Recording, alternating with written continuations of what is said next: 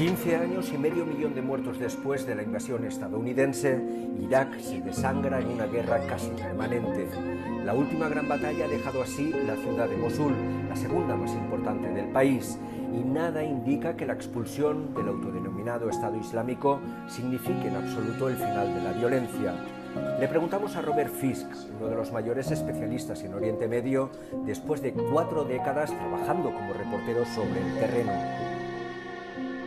¿Hasta qué punto todo este desastre es consecuencia de la invasión estadounidense? I think it's pretty much 100% a consequence. I mean, if Saddam had stayed alive and there had been no invasion, and maybe his sons maybe Uday would have taken over. Or maybe there would have been an Arab revolution in Iraq.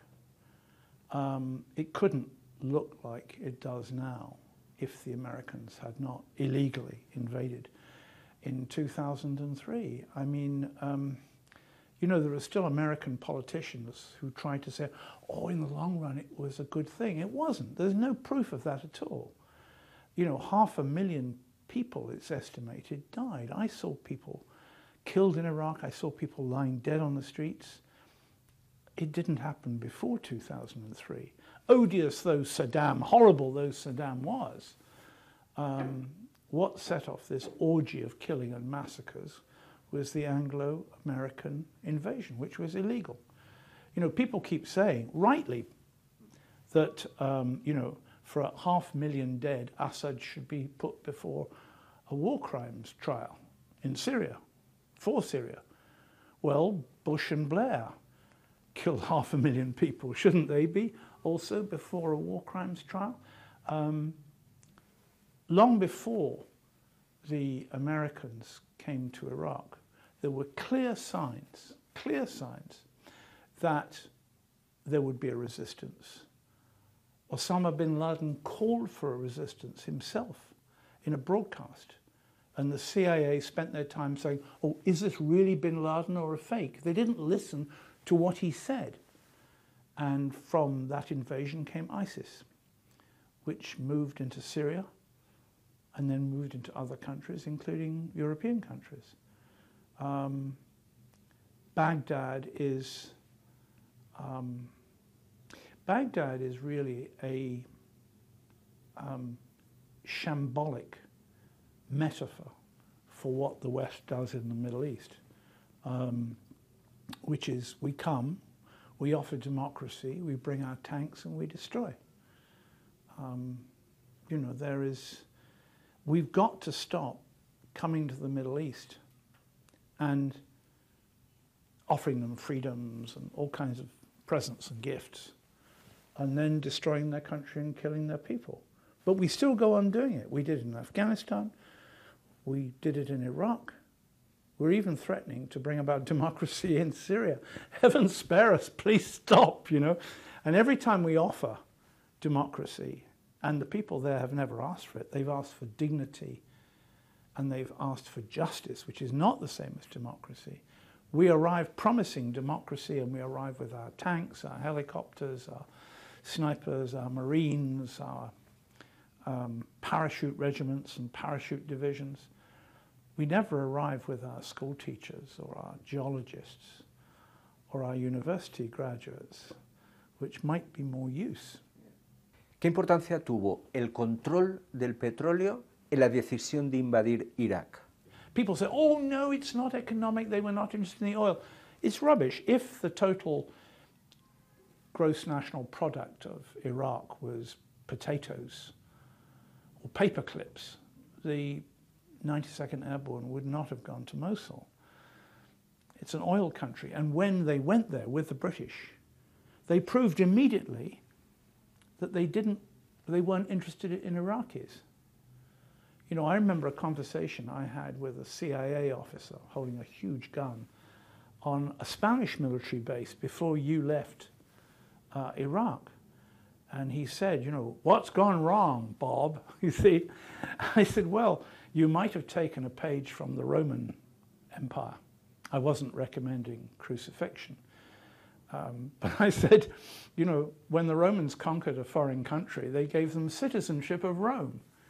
I don't think all the Iraqis would have rushed off and gone to JFK Airport in New York, but they would have said, well, you really do love us after all. You're not just after the oil.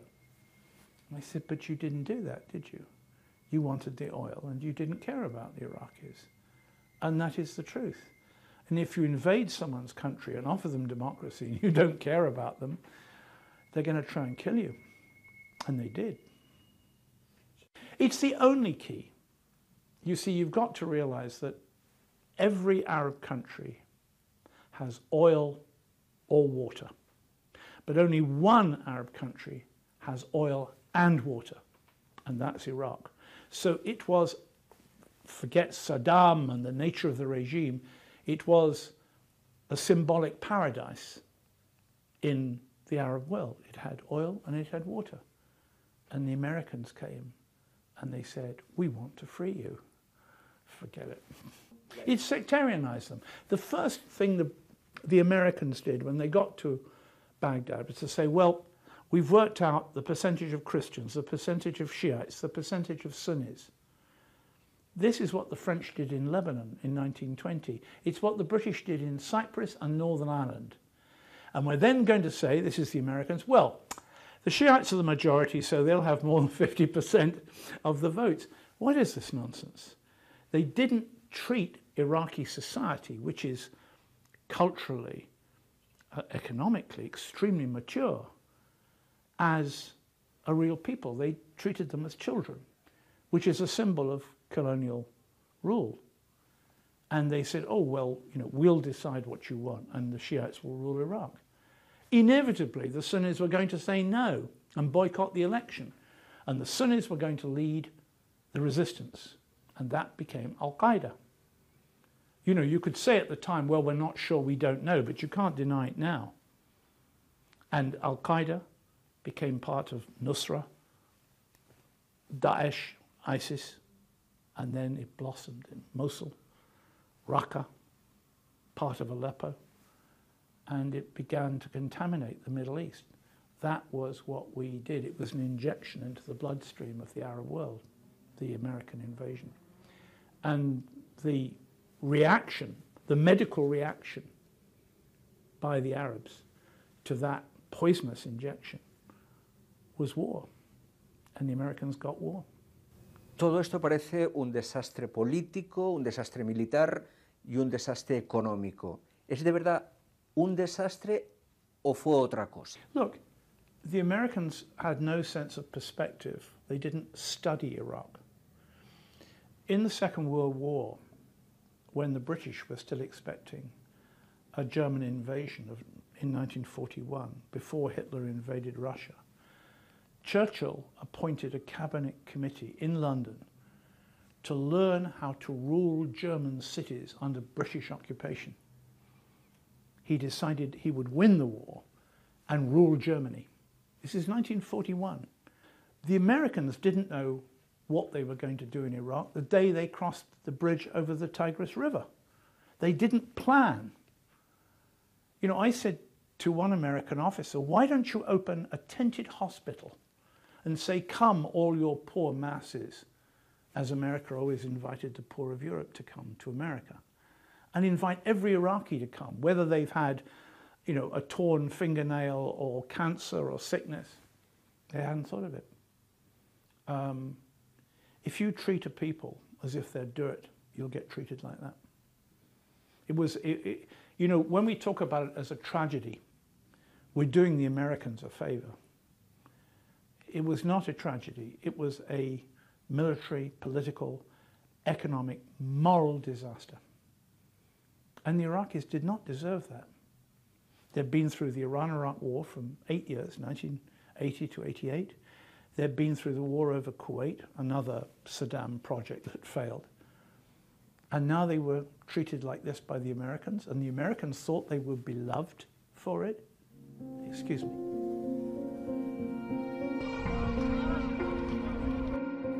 También Afganistán está al borde del colapso por la violencia después de la invasión liderada por los Estados Unidos. Los objetivos de la ocupación militar eran tres. destruir a Al-Qaeda, expulsar a los talibanes y exportar allí la democracia. Ninguno de ellos se ha cumplido. Los talibanes están recuperando terreno en Afganistán, ya controlan prácticamente el 60% del país. ¿Por qué está ocurriendo esto? Because the Americans, they first of all came to Afghanistan, they said, we're going to give you democracy. Here we go again. And then, when it was obvious to them that bribery and corruption ruled Afghanistan, they said, well, it cannot be Jeffersonian democracy. It won't be perfect. And they poured money into Kabul, Kandahar, Jalalabad. And every militia who would protect the Americans, take the side of the Americans, you know, the president's brother, he had to have villas, a convoy of cars, armed guards. And what the Americans created was Mafiastan, not democracy. They replaced Afghanistan with Mafiastan, which is now spreading into Tajikistan and other stans. And from the start, it went wrong. For example, I found villages there where NGOs had come with the Americans they go into a village and say, listen, if you tell us information about the Taliban, we will build a well here to provide water for your people. And the people thought, hmm, there are too many strings attached to this. And when real NGOs came without the Americans, the villagers said, you're the occupation force. The Taliban said, even after the Americans were driving them physically into Pakistan, uh, into the um, southern, northern areas of Pakistan, the Taliban said to me, but we never asked for land. We were there to preach and talk about God. Unfortunately for the people of Afghanistan, who didn't need to be preached to. And so their return was natural. The gun and the Quran ruled. The Americans did not offer huge educational establishment, humanist education. I don't think America could, but they might have found other people who could in other Muslim countries. But they didn't do that. They audited their accounts. They paid off everybody. And in the end, Afghanistan today is worse than it was under the original Taliban um, you don't get the huge massacres that you had at Mazar-e Sharif. But it's a fearful place to go to. You know, bombs in Kabul now are just a heartbeat. You wouldn't imagine that would ever happen. And the suicide bomber, the suicide bomber arrived from Iraq. You could never imagine the Afghans blowing themselves up before. You couldn't imagine the Iraqis. I mean, it started in Lebanon, it went to the Palestinians, it carried on to Iraq, and then it popped up in Afghanistan like, a, like an infection of people who wanted to be martyrs for Islam. And the Americans called them terrorists. Of course they called them terrorists. Goodbye, the Americans. That was the end. People are always telling you that Afghanistan or Iraq or Lebanon is in the greatest crisis since the last greatest crisis.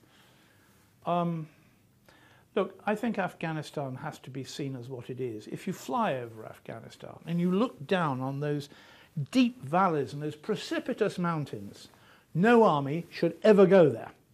It is unrulable except by Afghan tribes. After all, they live there. It's their country. It belongs to them, not to us. And the Americans thought that Western ideas, military technology could overcome this. You see, what happened in Afghanistan and in Iraq was that the Americans were at the height of their empire. I suppose George W. Bush. It's not at the height of their empire now, but it was then. And empires prove their power not by being wealthy, but by spreading their empire. That's what the British did, that's what the Romans did. We can go to Samarra in southern Iraq, where civilization began. So the US Marines will go there. We can go to Baghdad. So we can. Then if we can go to Mosul, we will send the airborne troops. And I remember one day south of Baghdad on Highway 18, I think it was, watching this massive convoy. The, Americans were rotating their troops. And this massive convoy, tens of thousands of trucks, men, helicopters. And I thought, this is an expression of imperial power. If the Romans wanted to intimidate you, they marched two legions through your cities, and at the end of it, you did not object. And all empires are the same. If the British were massacred in India or wherever, um, they took military revenge against civilians. When the Romans were attacked in the Roman ages in southern, what is now southern Turkey, they destroyed people by the tens of thousands. They didn't suffer any bin Ladens. Empires, by their nature, are very cruel. They're not kind. And the saddest thing is when you see people in Afghanistan or Iraq or Palestine saying, but they promised to help us. Forget the promises. It's not true. Uh, I remember south of Kandahar one day going to a village where NATO troops had staged a raid. They'd killed a little girl and a man had jumped down a well and died. And uh, the village leaders were giving me bits of the ammunition to prove that the Americans and other troops were there. And they said that they were prepared to trust the occupying force a little bit longer. They probably had made a mistake. And they said, Did they make a mistake? To me. And I said, I wouldn't trust them if I were you. I wouldn't trust me, is what I was saying. You know, if they send you doctors and they send you bridge builders, if they send you academic, university scholars, historians, be kind to them. They're coming to your home as a friend, but not soldiers. That's what I told this, these village leadership. I, I told them that because it was the truth. Look, for empires, Afghanistan is this romantic, mythological boundary line. Most countries have frontiers on rivers or hills or the Apennines or the Jura or wherever. But Afghanistan is so rough and high and snowbound that it's the frontier of the world. So you've got to go there. It's psychological. And it didn't need the Taliban. Eventually, the Americans would turn up, you know. And in fact, remember that they'd already had the Russians, and one of the heroes who was fighting the Russians was a man called Osama bin Laden. And when I interviewed him in Afghanistan, he was proud of having, as he put it, um, destroyed the Russian army, which was pushing it a bit, but you know, that's what he said. And he said, and I pray to God that um, he allows us to turn America into a shadow of itself. That, these were his words. And he pretty much did. When I, I was crossing the Atlantic on a French aircraft when 9, on 9-11, and I got back to Brussels, actually, transferred, and there were the, you know, Twin Towers, and I, all the smoke and the dust. I thought, well, Manhattan is a shadow of itself. Um, and here was a man who had, in his mind, genuinely fought for God's people in Afghanistan. Um, maybe he had. Um, but we put bin Laden there. The last and third interview I had with him was in a series of cave complexes built by the CIA. Excuse me. What did you think he was going to do? Put his hand in his heart and sing dum da dum dum dum dum? He wasn't going to do that, was he? When you play with people in this dangerous part of the world, to survive, you've got to be a chemist in nitroglycerin. Fuimos a Afganistán, o eso nos dijeron, a matar a Bin Laden. Bin Laden ya está muerto. ¿Qué seguimos haciendo en Afganistán? If they wanted Bin Laden, they should have put him before a court. International Criminal Court. Um, but in fact, they chose to assassinate him, which is what bin Laden would like to do to them. Well, he did for 3,000 people on 9 11. Um, look, I don't think. You see, the problem with the West, not just America, but the West, Europe as well, is that we we think we understand the history of the Middle East. We tell Middle Eastern people their history as if they don't know it. They know it better than we do. It's their land, you know. And we we take this extraordinary arrogance that we will decide uh, the peace of Afghanistan. We will kill the resistance in um, Iraq. We will destroy Bashar al-Assad. We will decide the peace process for the Palestinians. Poor old Palestinians. Um, and with the accession of Trump, it's all become a farce. Who would think that American power in the Middle East would end up as high comedy or low comedy? We thought it might end in a fireball, but it's end up as a television comedy. Quite extraordinary. Quite extraordinary. I mean, I live in Beirut. I've lived there for what, almost 42 years now, and um, you know, almost all my friends are Arabs. And they say to me, "Don't you realize what you're like?" They don't mean me; they mean the countries I come from the, as a Westerner. And I said, "Alas, I do, but I live here, don't I?" You know. Um, it's a great tragedy because it didn't have to be like that. You know, America is capable of great good in the world and great good in the Middle East. But it's not um, a desire to do good that um, animates the United States or Europe. Otra de las grandes heridas abiertas en Oriente Medio es Palestina. Israel ha impuesto aquí un régimen de apartheid con la complicidad de los Estados Unidos y el silencio de eso que llamamos internacional. Muros, asentamientos ilegales y castigos colectivos hacen cada día más difícil la resolución del conflicto. ¿Es viable todavía la solución de los dos estados? The two-state solution was the only solution that might have worked. I remember after Oslo when I think a majority of Palestinians I knew were prepared to accept it, with some swapping of land, with mutual declarations of love, with economic help, with millions of dollars of American money? Maybe. But now I don't think that's possible because the Israelis have no intention of permitting a Palestinian state to exist in dignity, which means borders, a military defense. And I think the greatest danger is to the Israelis because they're going to have an apartheid state.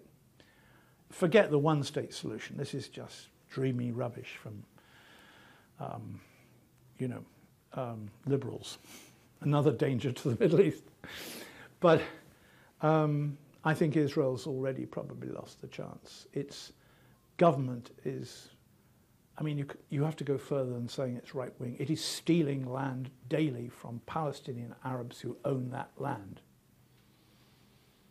The American ambassador supports the theft of that land from Arabs. He's for the settlements.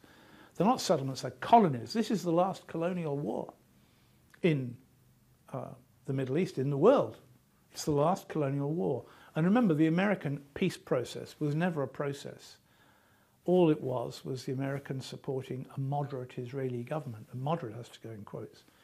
Now they've given their full support to a right wing, more than right wing Israeli government that says thank you very much to the American president for giving them Jerusalem as a capital. Um, this is a, um, a volcanic shift in Arab politics.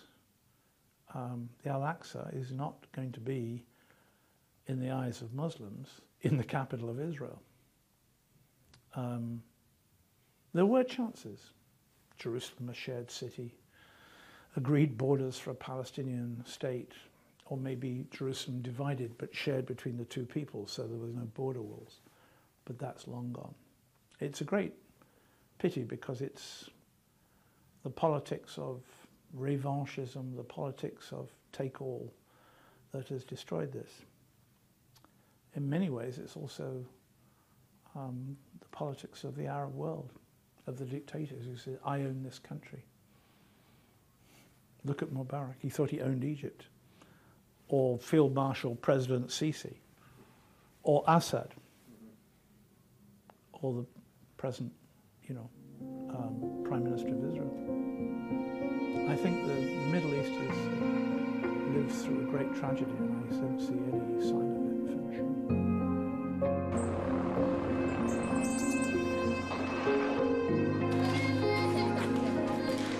اه شو وقت شادين عيني شو وقت شو وقت شادين هسه هسه